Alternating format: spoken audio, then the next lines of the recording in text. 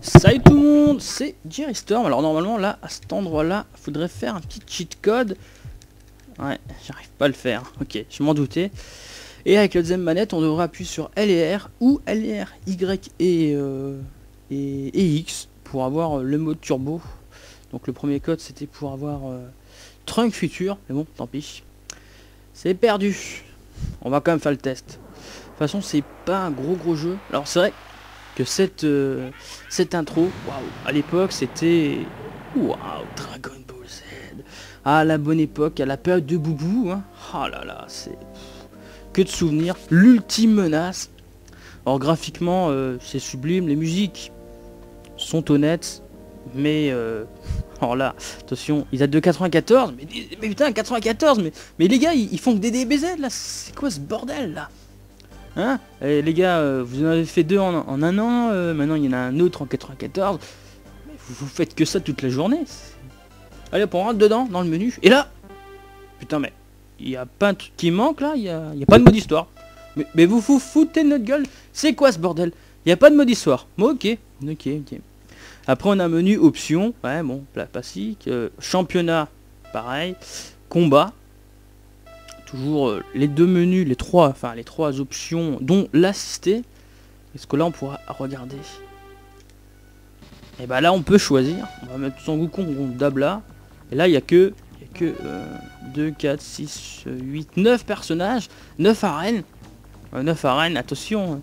euh, petite euh, arnaque, voyez, le tournoi deux fois, euh, le, le paysage euh, avec le rocher trois fois, le ciel trois fois, même s'il y a une petite différence, et le fameux menu du, enfin menu niveau du, euh, du, vaisseau de Babidi, où on peut pas aller en l'air. Alors à l'époque, il y avait une certaine, euh, comment dire, euh, légende.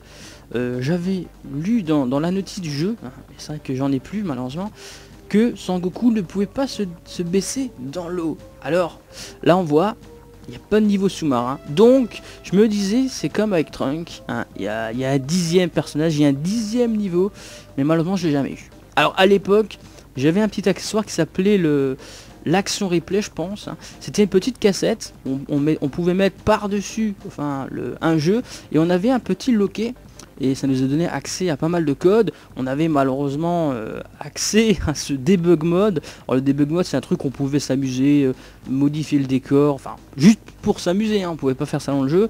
On pouvait voir le personnage euh, se mouvoir comme ça dans un genre de décor en 3D, enfin c'est assez basique. Mais ça donnait soi-disant accès à toutes les options du jeu et il n'y avait pas ce fameux niveau. Donc j'ai fini par me résoudre en me disant qu'il n'y en a pas. Hein. Attention, Qu'est-ce que je fais? Alors vous voyez qu'on peut augmenter sa vie, hein, on peut mettre le niveau d'attaque plus facile, enfin plus fort ou plus euh, normal, hein, le niveau de difficulté et les musiques. Allez hop. Alors, vous voyez que niveau musique, 6 6 musiques, attendez, oh y a, y a- Déjà il y a que 10 persos, il y a que 6 musiques, il y a que 5 décors euh, qui sont multipliés par 10. Non, mais faut arrêter de se foutre de la gueule. hein. Et aussi une petite chose qui était amusante à l'époque, c'est que non seulement on pouvait faire un petit code en fait, on avait 6 codes différents. Il y avait un pour euh, augmenter la force, un pour la défense, un pour faire les deux en même temps. Après, on avait la super force, la super défense et le super euh, mix de tout. Donc, on avait la possibilité de donner un petit avantage au personnage. Et on avait aussi un petit code pour devenir euh, tout petit comme les persos du radar. Mais c'était de l'arnaque. hein. Parce qu'en fait, quand on était tout petit, on avait quand même euh, l'aura de notre corps en grand. Donc euh, voilà, c'était un peu le kiff de mini Sangoku qui se battait contre euh, mini Dabla, comme vous voyez en haut. Enfin, quoique, c'est un petit peu con vu que je l'ai aussi là-haut. Mais on avait quand même, voilà, comme je dis, la taille normale au niveau des coups. Alors le jeu au niveau de l'animation et des musiques sont quand même très bons.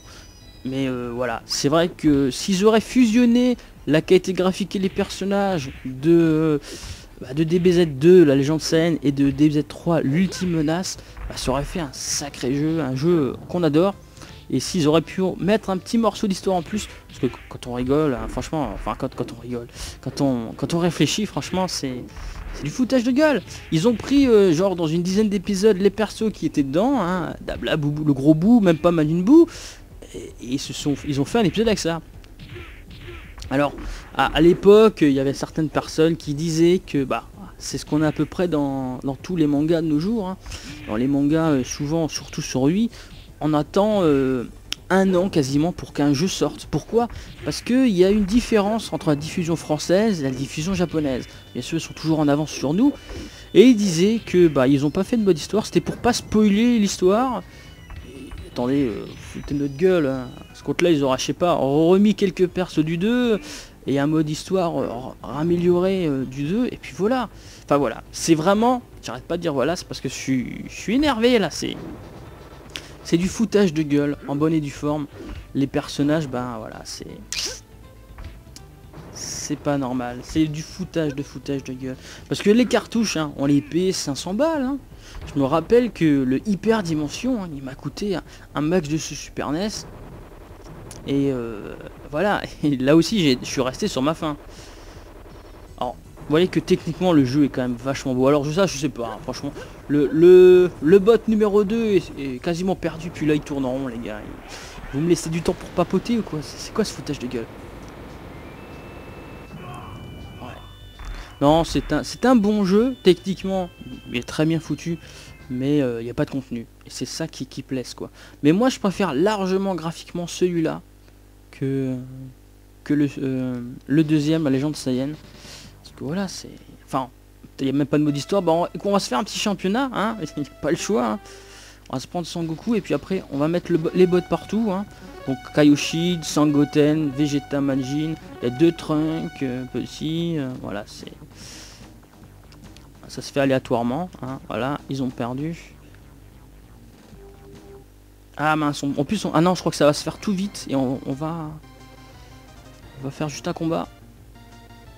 Alors de ce DBZ, il y a aussi une grosse nouveauté, c'est que les personnages ont vraiment des super Meteor Smash. Donc ça c'est normal, c'est juste pour pas qu'on ait à se taper tout le combat. C'est pour aller plus vite dans, le championnat. D'ailleurs, je crois dans les autres, il n'y avait pas ça. On était obligé de se taper tous les combats. Enfin voilà, les, les Meteor Smash, alors ça c'est des super enchaînements euh, qui étaient vraiment merveilleux. Malheureusement, comme d'habitude, hein, je, suis en train de faire tout dans la même journée, hein, ce sont des tests que je fais dans la même journée. Euh, comment dire J'ai pas, pas la patience de, faire mes petites recherches et de, refaire les Meters Match. Et je crois que Hooper avait fait une vidéo, euh, je, suis pas sûr, ça fait, un an que j'ai vu cette vidéo, où il montrait tous les Meters Match. Si jamais euh, vous voulez les voir, bah, je vous incite à aller les voir. Hein. C'est vraiment des super attaques, hein. c'est vraiment excellentissime. Alors le jeu est un peu lent, comme je dis, il n'y a pas de turbo, j'ai pas enclenché de turbo. Mais c'est vrai que moi, généralement, c'est dans le turbo que je, que je me débrouille le mieux. Parce que, voilà, je trouve c'est trop lent. Mais bon, comme ça, au moins, vous voyez bien le jeu. Et ça aussi, c'est très important. Vous voyez Avant, on pouvait pas euh, aller en l'air avec le X quand on était sur le même plan. Fallait absolument qu'il y ait cette petite séparation. Et là, là vous voyez qu'il y a vraiment l'aura. Et elle, se recharge très vite. Elle se recharge très très vite. Contrairement à l'autre épisode et là, on a les super attaques. Ils sortent toujours du même côté. Bah disons, décidément, c'était du côté droit alors que je sorte euh, plus facilement mes attaques. Alors ça, c'est vraiment un jeu très, très bon, de très bons souvenirs. Alors d'ailleurs, quand on a les deux personnages qui foncent l'un vers l'autre, on pouvait faire une petite euh, technique. Malheureusement, je pense que j'aurais pas ce cas de figure.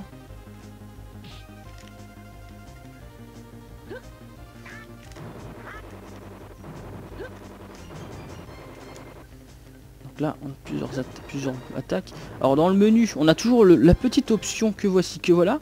Mais malheureusement là, on peut plus la faire. On peut plus, on peut plus voir le personnage faire les, attaques. Donc toujours le même nombre d'attaques, et à peu près la même chose. Hein. Et d'ailleurs, ils sont même pas, ils sont même pas répertoriés les metteurs smash dans dans ce truc là.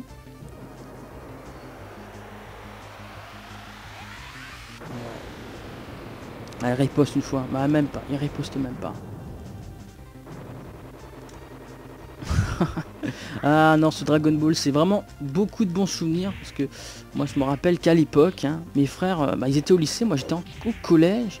Ce qui faisait que je travaillais... Euh, enfin, j'avais cours environ une demi-heure après eux, entre midi et deux. Parce qu'eux, ils commençaient à, genre midi, euh, midi pile. Moi, c'était midi et demi, je sais plus. Et je me rappelle que tous les midis, j'avais le droit à ma petite demi-heure, vite fait, je me dépêchais dans leur chambre, je mets la console et je jouais un petit peu à Dragon Ball Ultime menace. Et voilà, voilà, c'est vraiment... euh, c'est des souvenirs, ouais, c'est vraiment des souvenirs. Non, mais voilà, c'est un, DBZ où on n'a pas grand-chose à dire, malheureusement. hein. Mais c'est dommage. C'est vraiment très très dommage que le jeu soit pas plus complet. Surtout que voilà, le personnage comme Boubou, c'est pas, il est pas très charismatique, euh, je sais pas. Il y a même pas de fusion, il y a même pas de Sangoku en Super Guy 3, c'est vraiment les éléments qui ont fait le succès de, la, période Boubou ne sont même pas représentés dans ce jeu, c'est incroyable. Les éléments qui ont fait le succès du deuxième épisode, euh, le mode histoire, n'est pas dedans. Euh, voilà, c'est. Après, il y avait les personnages charismatiques comme, euh, comme Broly ou, euh, ou Bojack. Ils sont. C'est vraiment une grosse déception. Et malheureusement, bah, le Hyper Dimension, sera à peu près pareil.